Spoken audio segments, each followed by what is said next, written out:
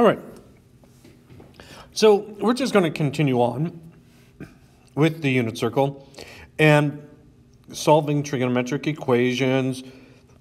What is a really important element to understand is the use of the words approximate values versus exact values. An approximate value is a value generally obtained by a calculator or by mental math.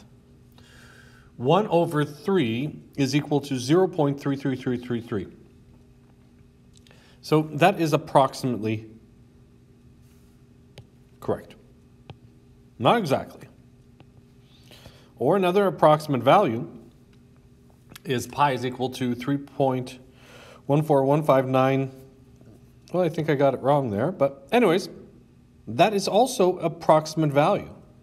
Why is that? Because pi has an infinite number of decimal places, and no matter how hard we try, we cannot get it exactly.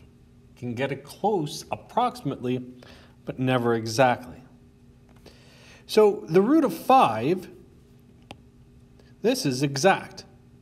However, the right-hand side of that is approximate. The root of 5 is approximately 2.236067977.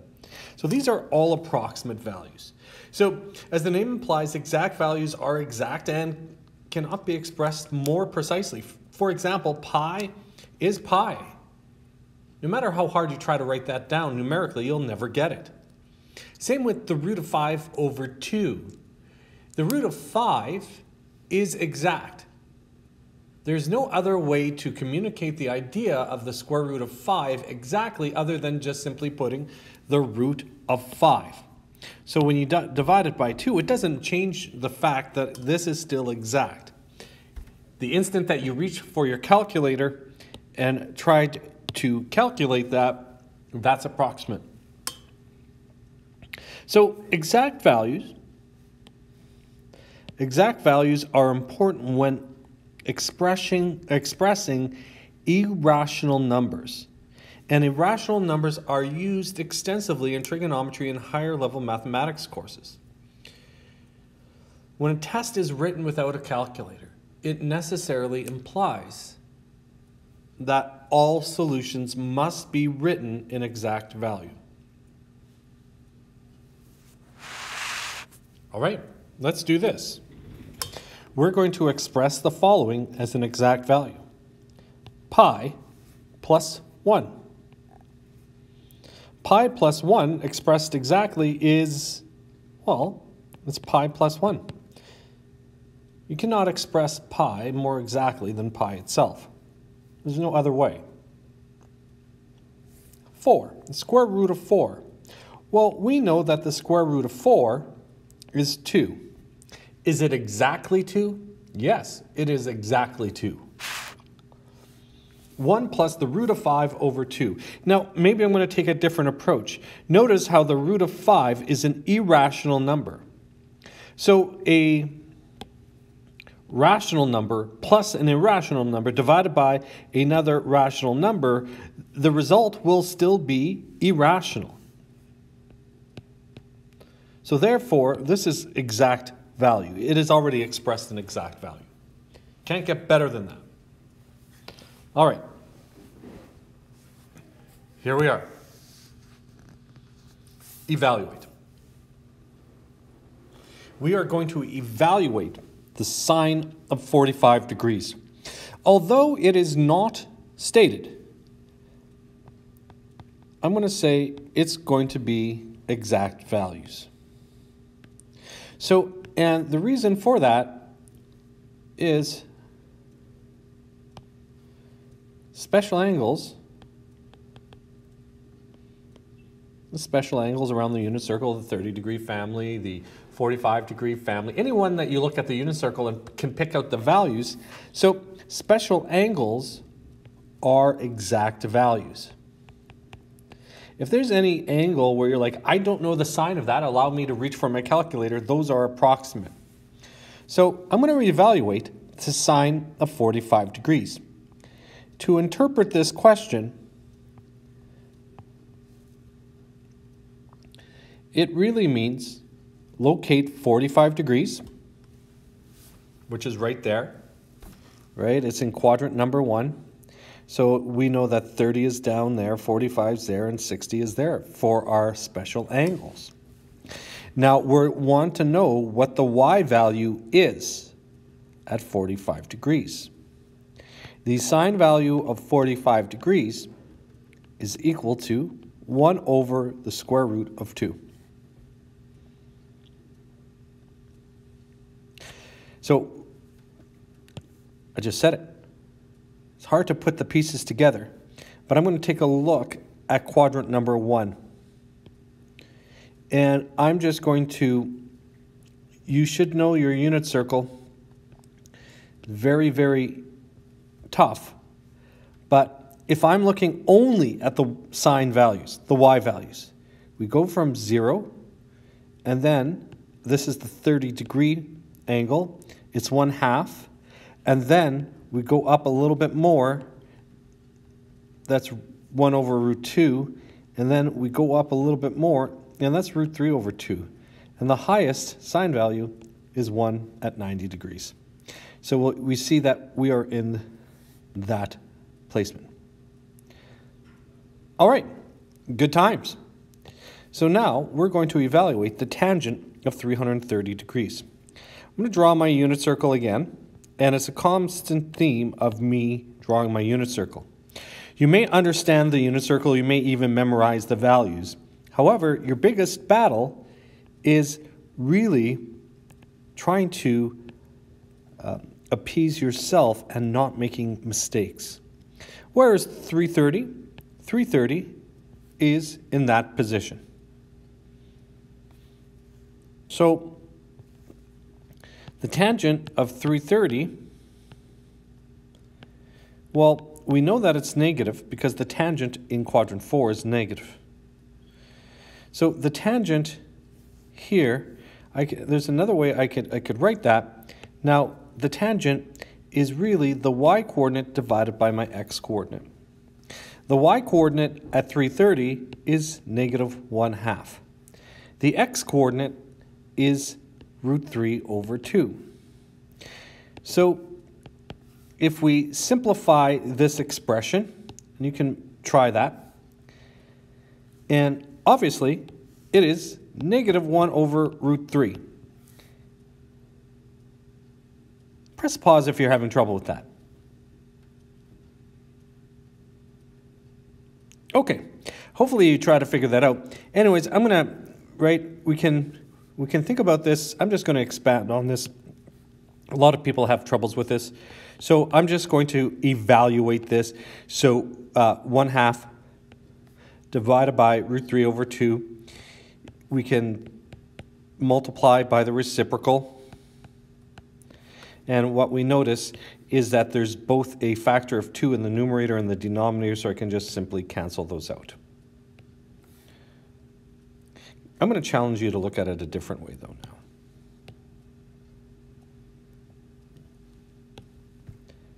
Why don't we both multiply the top and bottom by 2?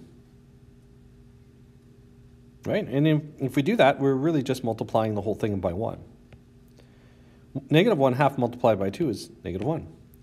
Root 3 over 2 divided by, or times 2, is just simply root 3 over 2. I mean, sorry, is just simply root 3. Much easier to think about it that way. All right. Good times. Right. I'm going to delete this and create space. Now, this takes a lot of effort and a lot of practice to get the unit circle down, down well. I think it is worthwhile because it really shows you the connection um, of the patterns of the unit circle. So, tangent. First thing I'm going to do here.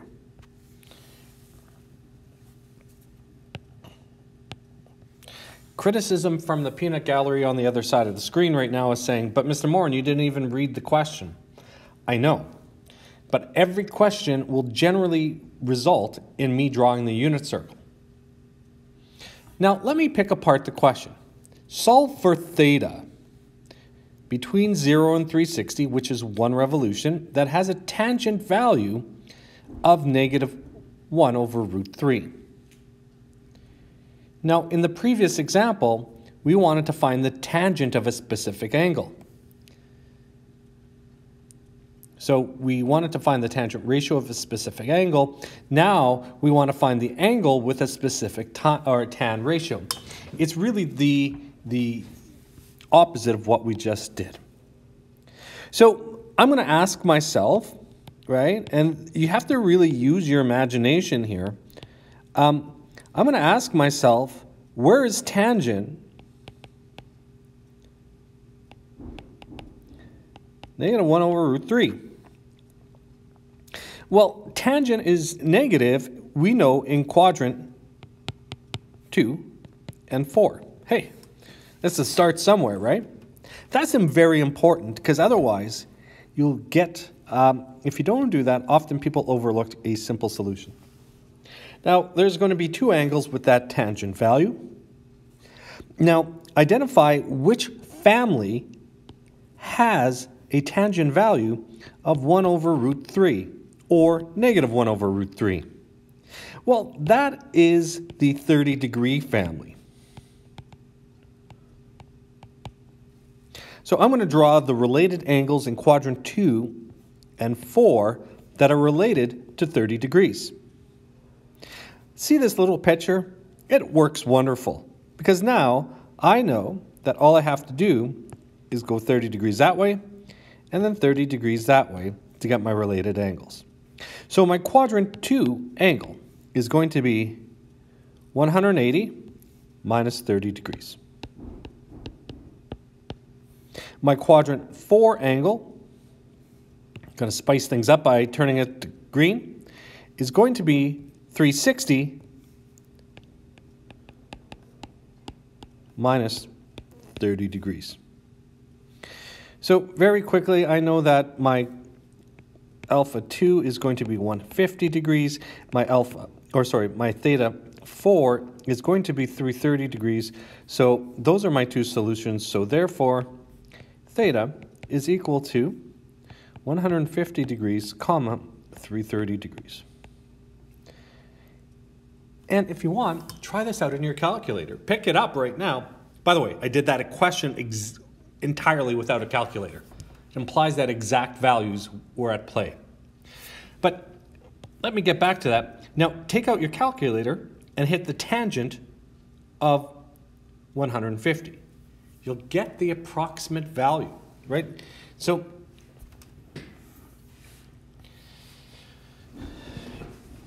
We don't need a calculator to figure this out, though. That's next lesson. All right. Whew, this one looks tough. Now, again, we're going to solve for theta between 0 and 360 degrees here. What that really means is here's my unit circle. I am going to start at 0 degrees and I'm going to go exactly one revolution around the unit circle. Anyways, I am going to try to find the angle theta such that when you square the sine value, it is exactly equal to 1. Now that seems like a tall order, but I'm going to start off simple by just going, well, sine squared theta is equal to 1. And we have a little bit of practice at this, don't we? we are going to solve for the trigonometric ratio. So what I can do is I can recognize, well, there's many ways of doing this, isn't there, to solving for sine theta. Number one, I can take the square root of both sides. If I take the square root of both sides, I have sine theta is equal to positive or negative 1. Remember that when you take the square root of both sides, you need to consider both positive and negative roots, and that's because you are applying the root yourself. Um, so yeah, there we are. So really what does this mean? We're looking for all angles with the sine value of 1 or all angles with the sine value of negative 1. So I'm going to go to my unit circle over here. What are all the angles that have a sine value of 1? Well, where is sine 1? Sine is 1 only in one place, up there. Where is sine negative 1? Right there. So what are those two positions? That's 90 degrees and 270 degrees. So therefore, theta is equal to 90 degrees or 270 degrees. Gonna have a little box. By the way, if you ever see a little box in math like this, and I often have the long debate with myself that after every question when you're done, should this box, sometimes you'll see it as an empty box like that. It really just means this question's done. My thoughts are done. But sometimes you'll see it as colored in. I often often ask myself, what is better, a colored in one or a hollow one? I'll leave that up to you. So we can end my question with a solid dot or a I mean a solid square or a hollow square. Depends what type of mood I'm in. Anyways, getting back. We're going to solve for theta, where theta is stuck between 0 and 360. So within one revolution. So I haven't even read my question, but boom, there's my unit circle. Let me read my question. I'm looking for the tangent values that are 0. Now, it's really important that you think about tangent values. Well, you ask yourself, tangent, hmm, isn't that just slope? And I would say, absolutely, it's just slope. So let, let's maybe ask a different question because that can be equally helpful. What does a terminal arm with no slope look like? Well, a line with no slope is just a horizontal line. So there are two places along the unit circle in which will result as a terminal arm having no slope. So here we are, right here and right here. This question is a little bit more trickier than you think though. So I just simply need to locate those positions. So I know that theta is equal to 0 degrees, right? 0, 180, degrees. And uh, lastly, 360. So let me read the question again. I'm looking for theta between 0 and 360. So note that what I've written for above is for the restriction theta is greater than or equal to 0 sorry, 0 is less than or equal to theta is less than or equal to 360. That is, I've included my endpoints of 0 and 360, but what I've highlighted in purple over here does not include 0 or 360. So the way that this question was originally written, I should have solutions 180. All right. This is getting delicate, isn't it? How will you do this? Through a lot of practice. Really question yourself what is the underlying patterns? Can I make sense of all of these numbers around the unit circle? They're flying at me in all directions. My advice to you is don't memorize the unit circle. Understand it. Look at the families. Look at the patterns of sine and cosine. Come to a thought Talk it with over with friends to see where you guys are at in your different understandings. All right, have a great day. We'll see you again tomorrow or the next day.